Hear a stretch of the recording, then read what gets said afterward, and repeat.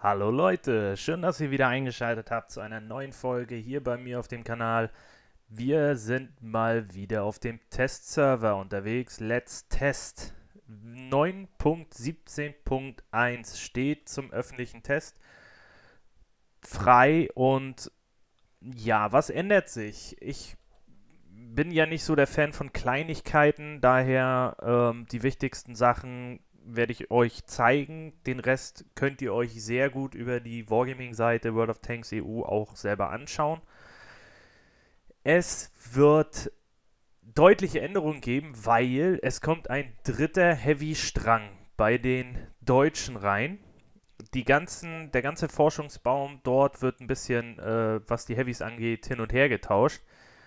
Ähm, ob ich das gut finde, ich weiß es nicht. Beziehungsweise, ja. Für mich ist es ein bisschen blöd, weil ich habe eine Maus und ähm, Wargaming schenkt mir zwar den äh, VK 101P und das Mäuschen äh, als, sag ich mal, ich habe sie schon erforscht, müsste sie mir nur noch kaufen. Trotzdem müsste ich dann mein, ja, Alltime nicht so Favorite, beziehungsweise ja, es ist sehr schwierig zu spielen oder anders zu spielen, VK 4502B, neu holen, um auf den nun PZ Kampfwagen 7 zu kommen, der ehemalige VK 7201P, der bekannt geworden ist damals über die CW-Kampagne als sogenannter Fail-Löwe, weil er praktisch wie so eine kleine, ja nicht Missgeburt, aber eine Mischung aus VK 4502B und Löwe ähm, so aussieht. Was ändert sich aber noch? Ändert sich noch was bei den Japanern. Die japanischen Heavy Tanks Stufe 9, 10, der Type 4 Heavy und der Type 5 Heavy. Die bekommen eine HE-Gun mit, ähm, damit sie sich besser wehren können. Die Gründung ähm, ist von Wargaming wortwörtlich mit ihrer Mobilität unterliegen sie ihren gleichstufigen Gegenstücken und können sich im Kampf kaum beweisen. Das wird aber nicht mehr lange so bleiben. Bekanntermaßen sind Sprenggranaten und Geschütze das Markenzeichen der japanischen schweren Panzer, der Stufe 5 bis 8. Daher sollen Type 4 und Type 5 schwer diese auch bekommen. Tja, werden wir einfach mal drauf, äh, das werde ich gerne testen mit dem 10er und bei den Amerikanern ist auch was, da ist es so, dass der T28 Prot und der T28 und die Schildkröte, der T95, ähm, jeweils 8er und 9er TDs der Amerikaner, werden in ihrer Mobilität gebufft, damit sie ähm, besser in dem schnellen Gameplay, in den dynamischen Gefechten besser zu, äh, zu, klarkommen und man sie besser spielen kann es gibt schon Leute, die den T95 vorher geliebt haben. Ich glaube, sie werden ihn jetzt noch mehr mögen. Ich habe ihn noch nie gespielt, aber ich glaube, jetzt wird es mir das einfacher machen. Was ändert sich noch? Balanceoptimierung, ja, T110 E5, Grille 15, T34 85M, Centurion MK1, Centurion MK7 Eintel, v, äh, FV 4202. Diese Fahrzeuge bekommen ein neues Balancing, also werden neu ausbalanciert. Wobei auch viele gesagt haben oder Angst hatten, Grille 15, da kommt wieder so ein Nerf, so ein extremer, aber das ist gar nicht so. Also ähm, das Beispiel bei der Grille 15, Änderung an der Motorleistung, Rückwärtsgeschwindigkeit und unter anderem Höhenrichtwinkel sollen den Jagdpanzeraspekt der Grille in den Vordergrund rücken. Während der verringerte Schaden pro Minute ihre Gefechtseffizienz auf die gleiche Höhe mit den Fahrzeugen der gleichen Stufe rückt. Also, ja, es ist immer noch ein sehr mobiler TD, aber es soll die Leute dazu animieren, das äh, Gefährt mehr als TD zu fahren. Was ich mich bei sowas immer frage, ist, wieso es den äh, Leuten vom Wargaming immer erst später auffällt, beziehungsweise es ist ein auf eine Art be beteuern sie, sie versuchen es immer realistisch wie möglich zu halten, auf der anderen gleichen sie es doch sehr dem Spiel an und dem Gameplay, was sich aus den jeweiligen Spielern und ihrer Art zu spielen ergibt. Gut, ist halt so, ist ein Spiel. Verbesserungen am Schadenprotokoll. Ähm, wir bauen weiter nützliche Elemente aus beliebten Mods von Drittanbietern ein. Dieses Mal erhält die Benutzeroberfläche ein ausführliches Protokoll für erlittenen Schaden.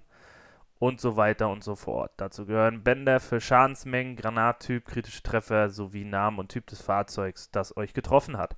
Finde ich gut, dass Wargaming weiter immer mehr reinbaut von den Mods, dass man immer weniger Mods braucht. Leider dauert mir das alle zu lange.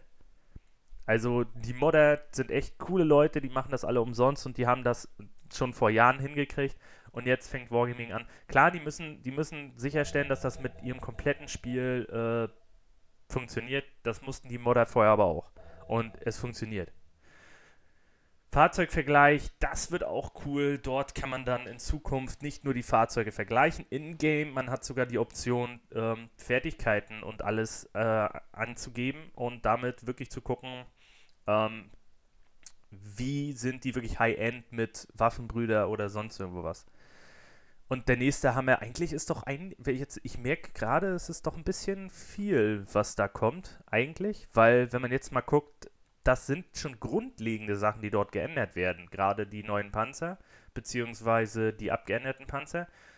Und jetzt kommt nochmal die Optimierung ähm, von dem Festungsmodus, Schrägstrich Bollwerk.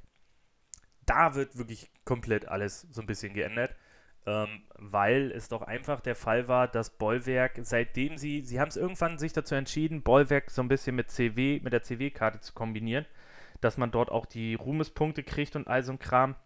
Und ähm, das ist nachher ab einer höheren Stufe nur noch äh, mit dem ganzen Angreifen und Verteidigen so gewesen, dass die großen Clans sich die, die Schwachen rausgepickt haben und ähm, da hat dieser Modus ganz schnell seine Attraktivität verloren. Das wird jetzt alles umgeworfen. Man kann gleich alle Linien entwickeln man äh, verliert keine Ressourcen mehr, man wird animiert und kann das besser alles hochleveln bis äh, zur äh, Max-Stufe 10 und dann die jeweiligen großen Reserven für den Clan freischalten. Also ich bin da sehr gespannt drauf, ähm, wie sich das Ganze entwickelt. Ich kann natürlich jetzt nicht den Bollwerk-Modus, das hätten sie immer machen sollen. Ähm, so wie sie im, im öffentlichen Test euch ja, sag ich ja immer, holt euch den, weil ihr bekommt 100 Millionen Credits, ihr bekommt 100 Millionen Freierfahrung und ihr bekommt 20.000 Gold. Das heißt, in diesem Testmodus könnt ihr euch ein Premium-Fahrzeug kaufen, was, mit dem ihr vielleicht liebäugelt und testen, wie gut kann ich damit um, wie gut ist es. Und ihr könnt euch äh, Panzer erforschen und testen, auf die ihr vielleicht hinarbeitet. Und da hätten die echt auch im Bollwerksmodus einen, ähm, einen ganzen Schlag voller Industrieressourcen einfach hinwerfen müssen, damit man das mal komplett testen kann. Einfach mal, um sich das anzuschauen, weil ich weiß nicht, sehr selten habe ich es erlebt, dass komplette Clans auf den Testserver gehen. Weil Bollwerkgefechte, weiß ich nicht, ob die auf den Testserver gefahren werden. Aber es wird sich dort sehr viel tun. Nebenbei wieder Toneffekte, die werden, ähm, das ganze System wird jetzt vereinfacht, damit man oder verbessert, dass die Modder das besser nutzen können. Die Audiodateien stehen den Moddern dann frei zur Verfügung. Das finde ich gut da wird sich dann äh, vielleicht, äh, das wird dem Modern das einfacher machen und ich hoffe, dass Bruce Willis, mein Bruce, immer schön dabei bleibt, dass ich ihn dann auch wieder habe. Und es werden Minikarten überarbeitet. Das kennt ihr schon mittlerweile. Ähm, wir haben Overlord, Stalingrad, Heiliges Tal und Feuriger Bogen, beziehungsweise noch das Übungsgelände, was ja die Map ist, wo ihr äh, ja, ein bisschen üben könnt. Da wird die Minimap natürlich auch geändert. Ähm, gut. Ja, fand ich jetzt nicht unübersichtlich, aber wenn man schon äh, die Minimaps ändert, dann macht man es alles komplett. Gut. Gehen wir einfach mal ins Spiel rein. Ich bin mit dem Painhawk aus dem DX-Clan hier mit dem Alex. Kannst ja kurz Hallo sagen? Ja, hi. Hab jetzt ein bisschen viel erzählt, aber das muss einfach sein, damit äh, die Leute ein bisschen sehen, was passiert. In meiner Garage seht ihr schon den Panzerkampfwagen 7 ich habe mir die alle schon mal, ich habe da schon mal was vorbereitet. Ähm, ich habe die mir ja schon mal alle reingestellt. Ähm, den T95, weil ich halt sehen will, ähm, finde ich den immer noch sehr langsam oder nicht. Ähm, und den Type 5 Heavy von den Japanern, um auch mal die neue HE-Gun auszuprobieren. Beim T95 habe ich schon mal ein bisschen geguckt. Der ist ja momentan, Stand heute, im Spiel äh, mit einer Höchstgeschwindigkeit 13 und 6, also 13 vorwärts, kmh, 6 rückwärts. Und wenn wir ins Spiel reingucken, da habe ich schon mal äh, reingeschnuppert, da seht ihr es 20 und 10. Ich weiß nicht, inwiefern sich das aus äh, äh, auswirkt auf den T95. Er soll natürlich immer noch ein langsamer TD sein. Das wäre jetzt, ja, total strange, wenn sie daraus irgendwie so ein Rennsemmel auf einmal machen. Und 7 km/h hört sich nicht viel an, kann aber viel sein. Also das äh, werden wir dann nachher gleich testen. Und 4 km/h rückwärts mehr soll halt mobiler sein. Das ist jetzt das Beispiel vom T95. T28 Prot, T28 ähm, die werden ähnlich weit ähm, gebufft. Ich könnte euch, oder ich werde einfach mal, die ganzen TDs hier mal reinstellen, weil da bei denen ist es jetzt wirklich mal interessant, wenn man da das einfach mal sieht. Ich werde mir die jetzt nicht extra kaufen, aber für die unter euch, die sagen, hey, das würde mich mal interessieren, ähm, gerade die, die ihn jetzt auch besitzen, gucken wir uns das einfach ganz in Ruhe an. Hier habt ihr jetzt, und das ist das Geile, Alex, kannst du es ja vielleicht bei dir auch mal ausprobieren. Hast du mal äh, probiert, über den Vergleichsmodus, den mittlerweile Wargaming selber anbietet, in deiner Garage Fahrzeuge zu vergleichen? Ja, habe ich. Gut. Und da ist es jetzt so, dass wenn du darauf gehst, hast du jetzt äh, Configure, das ähm, praktisch, dass du die konfigurieren kannst und ähm, dementsprechend könntest du jetzt alle möglichen Fertigkeiten und äh, Module ausprobieren, reinbauen, rausbauen, um zu gucken, wie äh, wirkt sich das auf, den Fahr auf das Fahrzeug halt aus. Es ist mal ganz interessant, das zu sehen, ähm, dass es nicht manchmal gar nicht so viel bringt, manchmal doch mehr als man denkt. Kommt natürlich aufs Fahrzeug drauf an, wenn ich jetzt gucke, dass ich jetzt äh, Geländespezialist und Meister am Bremshebel reinmache, äh, bringt mir jeweils ein Punkt mehr Mobili äh, Mobilität. Ist jetzt nicht so viel, aber es ist ein T95, das darf man nicht vergessen. Und somit kann man dann halt auch mal bei den Jungs gucken. Ich drücke hier einfach alles Wichtige mal rein. Hier wollen wir natürlich das Beste haben.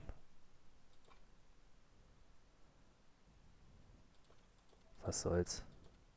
Zack, zack. Genau, und hier haben wir, ah, geil. Lüftung machen wir rein. Das müsste dann, achso. Tarnung wollen wir auch. Das finde ich cool, dass du wirklich jetzt alles einzeln so reinhauen kannst, um dann zu testen, wie wirkt sich das auf das äh, Fahrzeug aus.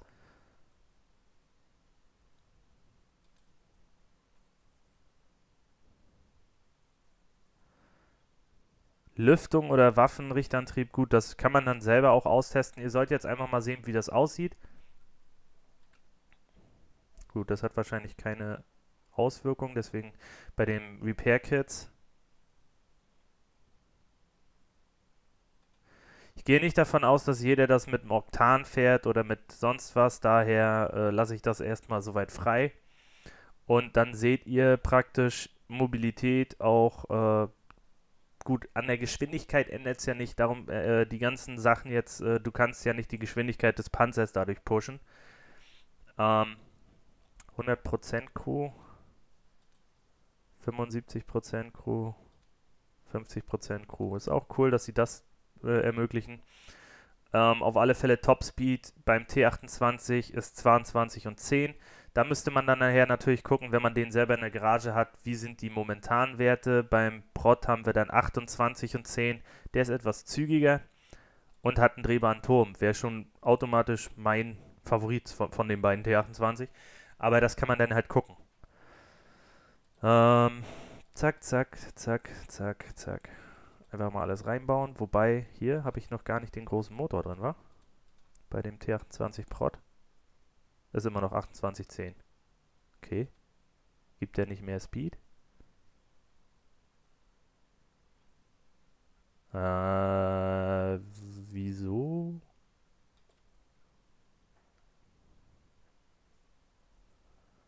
Weil wahrscheinlich Topspeed steht und er deswegen immer automatisch den Topspeed anzeigt, gehe ich mal davon aus. Also ich habe jetzt die beiden Motoren mal hin und her getauscht, die äh, unterschiedliche Motorenleistung haben. Trotzdem zeigt er mir den Topspeed immer gleich an, wahrscheinlich den Bestwert. Ja. Was zeigt er denn hier an? Wo haben wir Mobilität, Engine Power, hier Topspeed 2810. Zeigt er mir auch so an. Ist auch cool, wenn man auf den einen raufgeht, dass er dann äh, die anderen beiden wirklich miteinander vergleicht, sagt mir, okay, im Gegensatz zum T95 sind es 8 mehr, T28 sind 6 mehr. Also es ist eine coole Geschichte. Da kann man wirklich viel machen und auch viel vergleichen. Habt ihr das auch automatisch gleich gesehen? Und beim T95 kommt ein neues, äh, beim T95 sage ich schon, beim Type 5 Heavy kommt eine neue Gun hinzu. 15 cm, 45, 41. Jahr Typ. Die sich da, ähm, dadurch auszeichnet, dass sie wirklich wenig Penetration hat. 75. Aber dafür halt ähm, den Schaden hat. Drei Rounds in einer Minute, das heißt 20 Sekunden Nachladezeit. Das ist okay. Das ist KV2-Niveau. Aber wie sich das verhält, ich habe selber noch kein Type 5 Heavy gefahren. Alex, hast du ein Type 5 Heavy so schon in der Garage gehabt? Vorher? Nein, noch nicht. Also ich habe keine Ahnung, wie er, ähm, wie der überhaupt sich spielt. Und ich kenne auch nicht äh, den Vergleich, sag ich mal, zum originalen Gun, äh, wenn man den jetzt die ganze Zeit mit der normalen gefahren hat, wie das jetzt sich äh, für einen verändert, wenn man jetzt die HE-Gun nimmt. Aber das kann man halt, wie gesagt, nur testen. Und der dritte im Bunde, werden wir jetzt, äh, werde ich auf alle Fälle fahren, ist der VK 7201P, beziehungsweise jetzt der Panzerkampfwagen 7. Ihr seht es, wenn ich jetzt zwischen Maus und dem hin und her schalte, der ist doch deutlich, oder ich hätte gedacht, dass der größer wäre, aber er ist kleiner. Nicht größer als eine Maus, aber so groß vielleicht wie eine Maus, aber der ist doch deutlich kleiner der Panzerkampfwagen 7. Von daher, ja, einfach mal überraschen lassen. Ist eher zu vergleichen mit dem Löwen so. Aber gut. Gut, damit das nicht zu langweilig wird, werden wir jetzt erstmal in den Übungsraum, den wir schon eröffnet haben. Und einfach schon mal ein bisschen gucken, wie die Panzer sich verhalten, damit ihr das Ganze einfach schon mal gesehen habt. Alex, willst du deinen TD? Jawohl, ich bin unterwegs. Moment.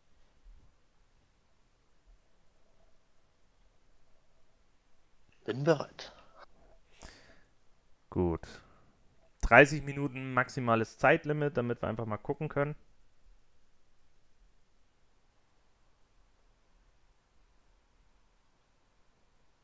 Treffen uns in der Mitte und testen das einfach mal aus. Fährst du jetzt zum ersten Mal in Schweden ab Stufe 8?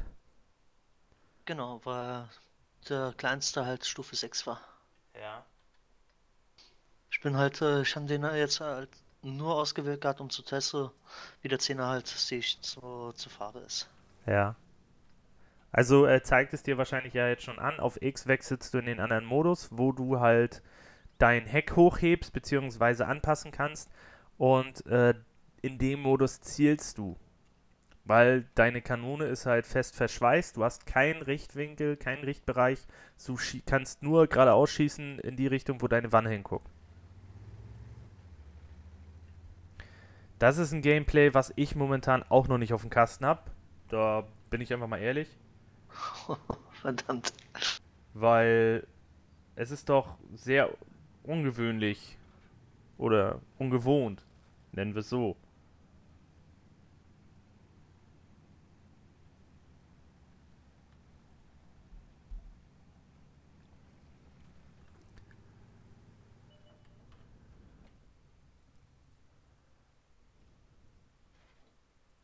So, ich werde mal nicht gleich das Feuer auf dich eröffnen.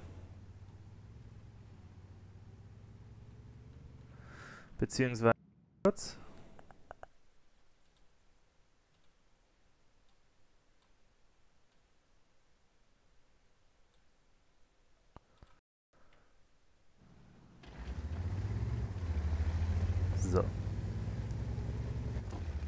Also du siehst, ähm, das dient nicht zum Hochgucken, sondern eigentlich, wenn du nochmal, komm mal nochmal zurück, fahr mal nochmal zurück zu deiner Basis, in dem anderen Modus, weil du siehst, du bist nicht so mobil und du bist rückwärts, glaube ich, auch sehr schnell, also das, äh, du musst gar nicht mal aus, um, äh, umdrehen.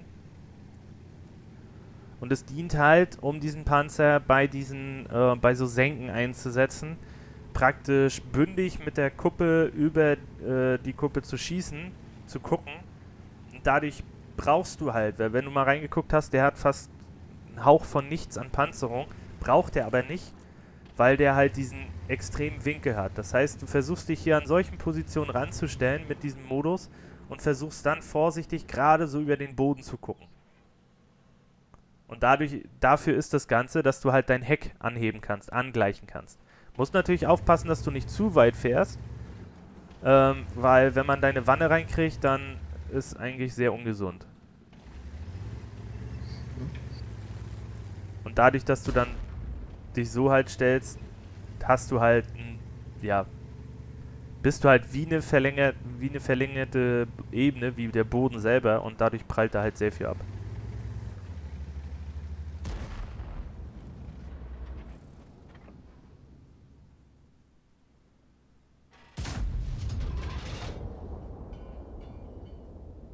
Der Reload an sich gefällt mir.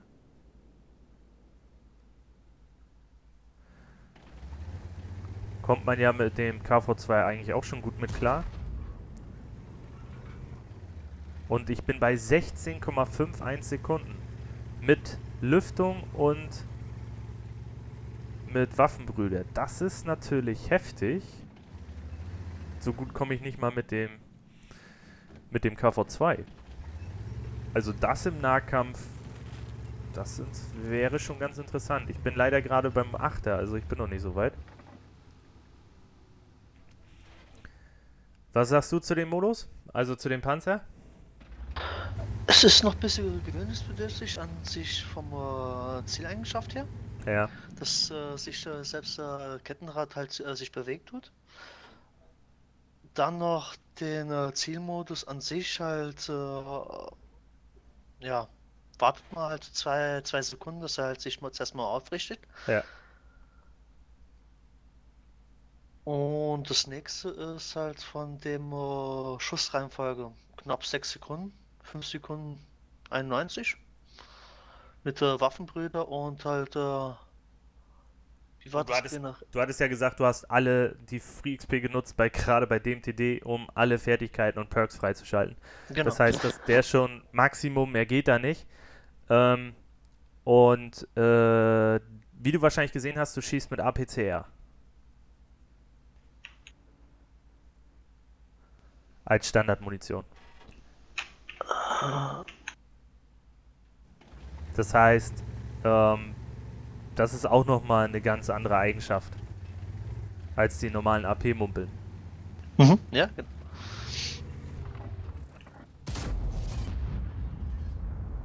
...458. Merkst du, das Aim ist nicht so ganz so leicht, ne? Dann lass mich mal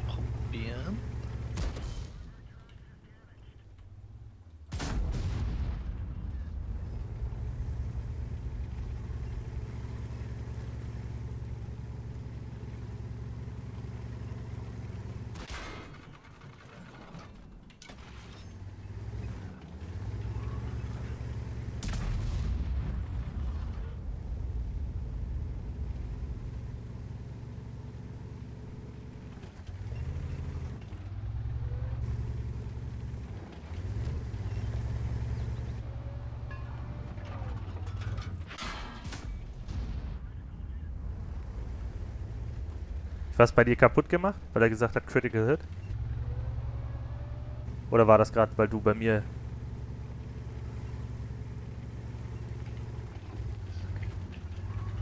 Zu meinem Nachteil, ich verstehe Englisch nicht so wirklich gut.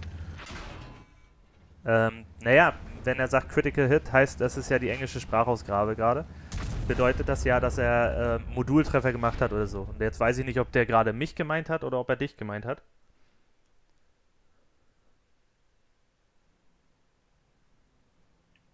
Was ich weiß, ist, dass ich halt äh, den Ausguck vom äh, Commander halt äh, gezielt habe, Ja, den geschossen habe. Einstiegskanzel. Gut. Mehr kann man dazu im Prinzip auch nicht zeigen. Ich kann euch die Werte gleich nochmal äh, äh, zeigen bei der Gun, dass man das mal sieht. HE-Gun 75, 75, e- ob jetzt äh, HE oder Hash. Ähm, 1100 zu 1400 Schaden. Und ja. Die Nachladezeit gefällt mir für einen 10er. Aber ja, 75 Penetration und 400, 500er Schellen, wenn man nicht äh, komplett durchbricht. Ja, das ist auch so. Klar, das ist. Kann, man kann damit äh, Kanonen kaputt machen, äh, Besatzungsmitglieder töten und so weiter. Das kann schon echt pervers sein. Ah, weiß noch nicht. Muss man mal gucken. Ist auf alle Fälle sehr interessant, dass sie es jetzt reinbringen. Ähm, jetzt würde ich gerne im T95 einfach mal gucken, die Geschwindigkeit.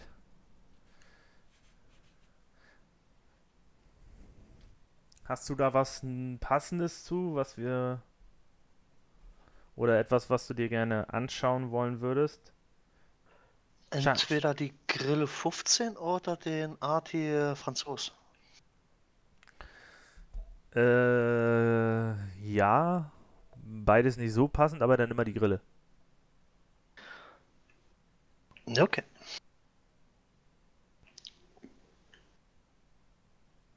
Geht ja nur um zu gucken, gefühlsmäßig, ähm, wer meine Videos halt so kennt. Ich bin nicht so der, der auf die Werte pocht und der sich auch jeden Wert einprägt. Ich mache das aus dem Gefühl heraus. Ich habe im Testserver mal schon mal den TM95 gefahren und dachte mir, meine Fresse, wie kann man? Weil gerade jetzt so Malinovka als Beispiel, das Einzige, was dir hier auf Malinovka übrig bleibt als T95, ist ans Haus zu fahren und zu hoffen, dass du irgendwann mal irgendwo ein Ziel reinkriegst. Sofern du einmal auf bist, dann hagelst. Ausgenommen, du hast eine Runde, wo keine Arti ist. Dann ist es natürlich was anderes. Aber sofern eine Arti im Spiel ist, bist du das erste Ziel.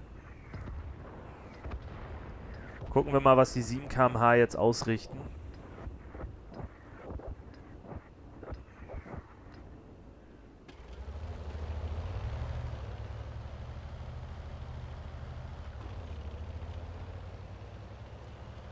Ja. Fühlt sich gleich komplett anders an.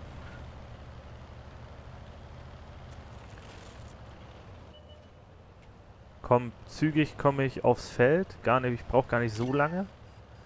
Gerade jetzt auch so Malinovka, wenn die Scouts durchgedrückt äh, sind, teilweise auf der richtigen Position oder sie machen mal wieder Suizid, ähm, musste man doch äh, ja, warten, bis man auf der richtigen Position ist. Mit einem T95. Teilweise warst du nur was für den zweiten oder dritten Schuss. Ich glaube, das wird sich jetzt stark ändern, wenn man dementsprechend so mobil ist.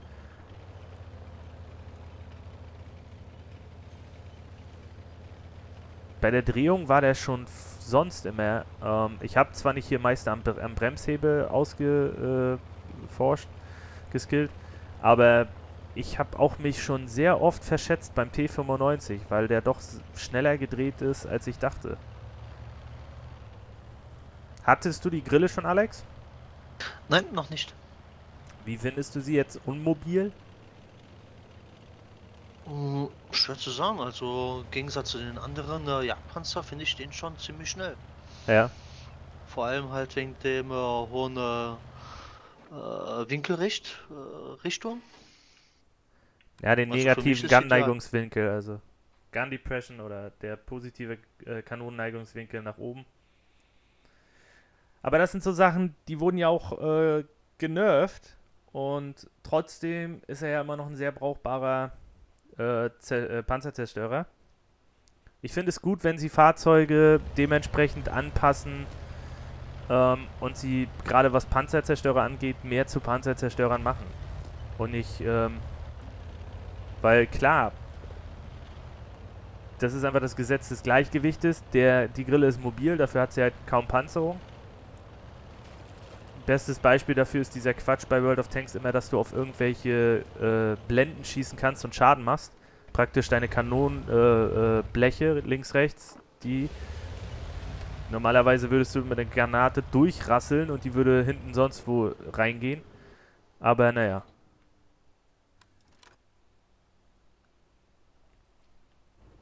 Weak Points beim T95 sind immer noch die gleichen. Wenn du, vor, wenn du den vor dir hast, entweder die Einstiegsluken oder du versuchst den die Kette zu ziehen und fährst um ihn rum oder sowas. Ansonsten musst du schon e extrem Durchschlag haben, wenn du da was machen willst. So an sich finde ich es aber gut. Ist nicht mehr so die lahme Schildkröte, wie man sie irgendwo vielleicht kennt, gerade wenn man sie besitzt.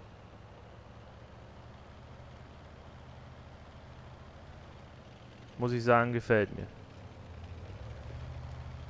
Ermutigt mich, die, den Strang auch mal weiterzumachen irgendwann.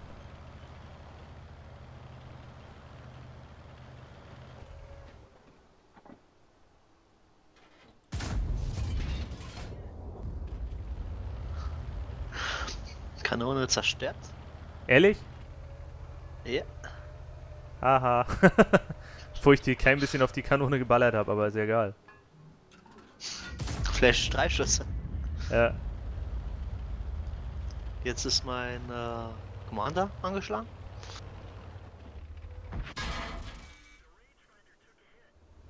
Einstiegsluke halt gezählt gehabt, anscheinend getroffen. Kein aber Schaden. Schaden. Nur der, äh, äh, der Richtspiegel, der, der Seeschlitz war beschädigt. Gut, und in der nächsten Runde schauen wir uns dann mal die Deutschen an, beziehungsweise den Bollwerk-Modus. Also bleibt dran.